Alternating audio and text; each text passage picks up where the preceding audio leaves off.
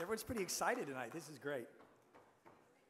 Anyone who's been to this award show before has heard me get up and speak about stand up paddling.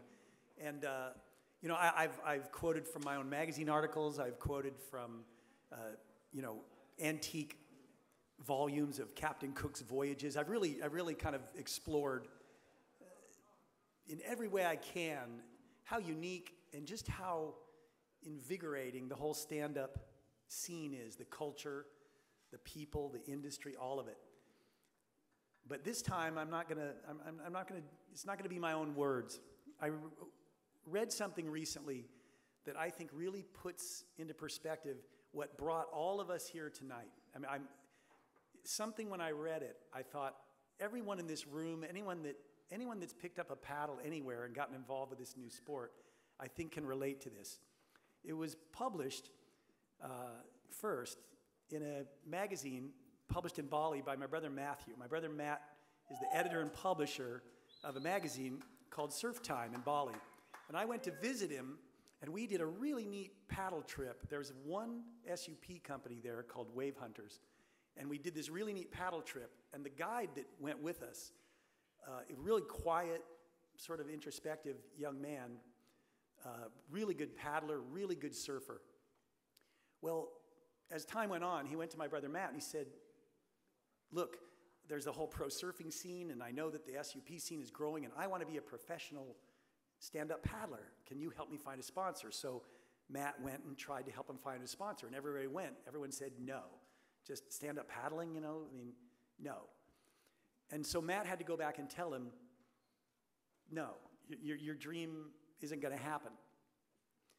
But then he told Matthew this because Matthew was uh, doing an interview about him. And even with that kind of reception, you know, that, that the broader surfing world in Bali wanted nothing to do with stand up paddling, he told Matthew this. And I just think that this really expresses everything that brought us here together. Because Matt asked him, Well, what is it about stand up paddling that's so important to you that you like so much? And Ben said, The quiet is what I like. Now, keep in mind, English isn't his first language. The quiet is what I like. You can still find a quiet out on the sea, just the sound of you in the water. And being able to stand on the sea is different than sitting in a boat or riding a wave. You can see the whole picture, the whole environment. You can feel yourself breathe and think clearly. I also think it makes you a friend of the things that live in the sea. I think they understand it even more than surfing. And I think it makes you understand the sea in a different way, as a visitor and not a thief. And I just thought that was so beautiful.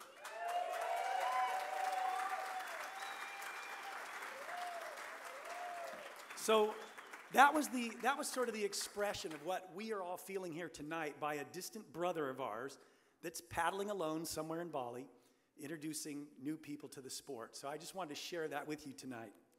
And we're going to move on to our first category. Somewhere right now, someone's out there training for a race. Somewhere, someone out there, somewhere, uh, someone out there is, you know, dropping into a big barrel or something. But what I think that's so great about stand-up paddling is that somewhere out there, probably right now, at this very hour, someone is out there exploring this world on a stand-up paddleboard. They might be paddling from island to island. They might be paddling down a coast. They might be traversing a, a, a lake, you know, in the, in the Peruvian highlands, or they might be, you know, you know, navigating inner waterways. The great thing about this sport is that sense of adventure that we all feel when we go out anytime, but there are people that push it a little bit further. They look at that horizon and they think, what's beyond that horizon? And do I have what it takes to get there? And I think that's one of the great things about the sport. And that's why, for me, it's a really, it's an honor to be able to introduce and announce the first category, which is the basically it's the best top expedition.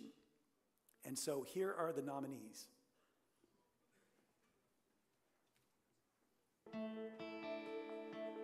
Top Expedition.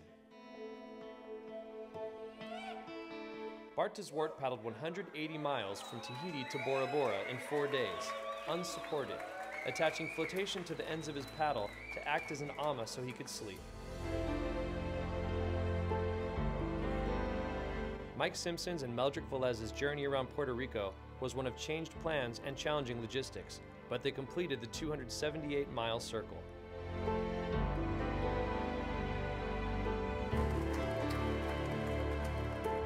Will Schmidt paddled from Canada to Mexico. That's 1,386 miles in 58 days, all to raise funds for the Wounded Warrior Project, which aids military veterans. Ben Friberg burned 9,800 calories on his record setting 111 mile, 28 hour paddle from Cuba to Key West.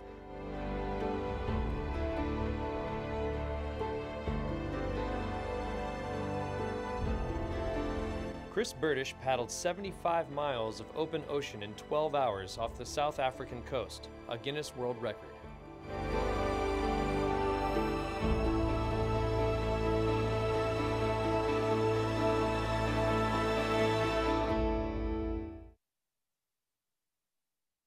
Mic on? Okay, and the winner of 2014 Top Expedition is Will Schmidt.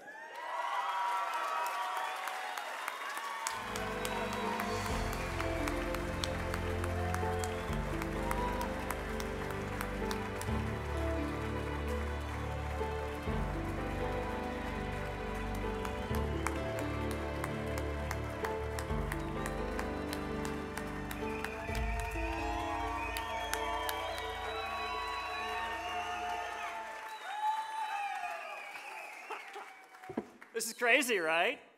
Um, I think most of you that know me are probably wondering right now, uh, wow, he owns more clothes than just a pair of board shorts and a, a, wetsuit. Um, how great is it in this day and age to be a pioneer of something, to set the standard and then be able to raise that bar?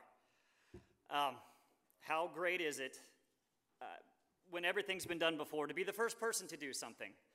Um, I think that was the rehearsed speech that I gave to Anthony Scaturo of SIC when I brought up this trip and said, hey, you know what would be really cool to do? And without hesitation, he agreed.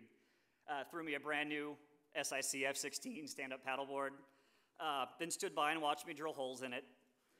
And for the next two months, systematically tried to demolish it um, by bouncing off of rocks and, I mean, just anything else you could possibly imagine. Uh, they've been instrumental in, uh, in this trip and uh, where I am today. So thank you to all my guys at SIC, Anthony Scaturo, Bradley Joy, Brad Kingsley, uh, the guys that aren't here, Tyler and uh, Thunder, who were really great about if I needed parts, send them out to me, uh, making sure I was okay, Facebooking me on the weekends. Um, another reason why I paddle is, is not for my benefit, even though I do believe that stand-up paddling saved my life uh, from the throes of anxiety and severe depression. Uh, however, I do paddle to raise funds and awareness for a United States charity, the Wounded Warrior Project, that uh, takes care of wounded veterans.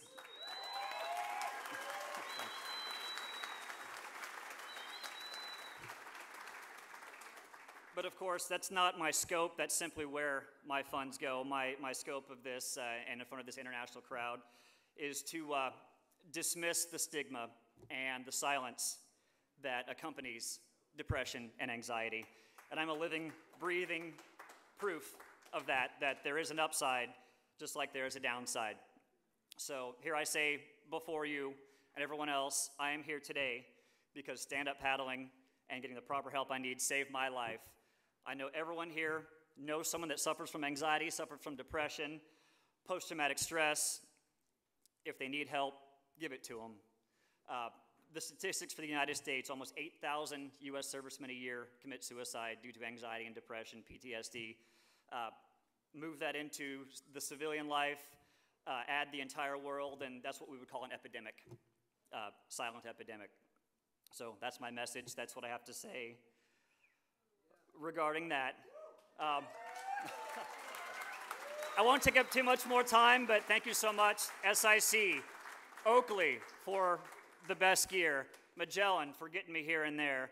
Of course, Google Maps helped a little bit too. Um, thank you so much to Astral Designs, uh, the best life jackets you could get. carapace wetsuits. I wore that thing for 58 days straight without a problem. That's right, I showered in between a little bit. Um, God, if I missed you, Nemo Equipment, a, a small camping company out of the Northwest, uh, who just took a chance on me, and uh, it really paid off.